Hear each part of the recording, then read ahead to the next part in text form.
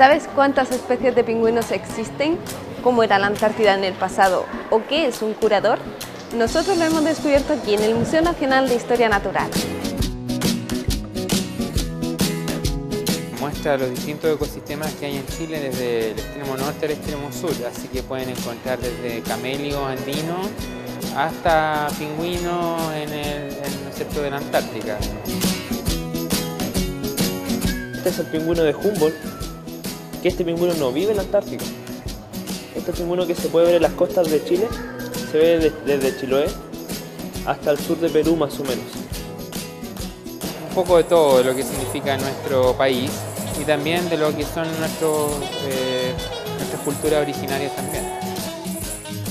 Es un paseo de norte a sur conociendo todas las especies endémicas del país, unas como este bisonte con más de 100 años de historia. El museo es uno de los más antiguos de América, fundado en 1830 por el francés Claude Gué y desde 1876 ubicado en el Parque de Quinta Normal, donde el último terremoto de 2010 dañó el edificio. Por eso es que el segundo piso no se puede, no podemos recibir gente en el segundo piso, por eso concentramos toda la actividad en el primer nivel. Actualmente trabajan en un proyecto a largo plazo para ampliar sus instalaciones, algo que no afecta a los visitantes. El récord sigue siendo 150.000 personas en julio del 2012. Y esperan seguir creciendo, atrayendo la curiosidad de turistas y nacionales a los que se le ofrecen talleres educativos. Esto se llama pequeño. ¿A qué animal se parece?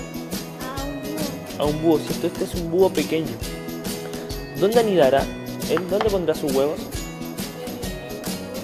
¿En los bosques? ¿O lo pondrá en los árboles? ¿Qué son ustedes? Él principalmente lo hace en las dunas. Están pensados para que en la mayoría de los casos niños y grandes puedan tocar aquellos elementos que están ahí. ¿Es, como una réplica? No, estos son, son animales reales, ya están taxidermizados.